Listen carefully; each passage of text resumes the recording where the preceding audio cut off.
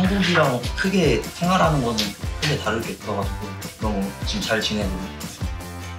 찬지도 너무, 너무 좋고 이런 팬분들이 와서 훈련하는 것도 보시는 이런 분위기가 너무 좋고 그걸로 인해서 또 선수들이 더 집중해서 운동할 수 있게 분위기를 만들어 주셔가지고 너무 저는 잘 지금 적응하고 잘 하고 있는.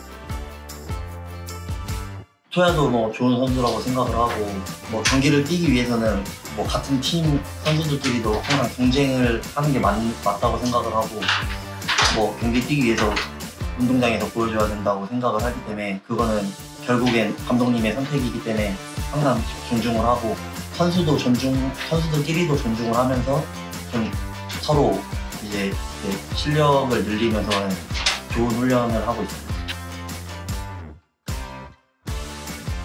저희가 항상 모든 경기를 잘 준비해서 이기려고 준비를 잘 하고 있기 때문에 많은 팬분들 오셔서 응원해 주시면 저희가 꼭 경기장에서 좋은 결과 뭐 승리로 꼭 보답하겠습니다.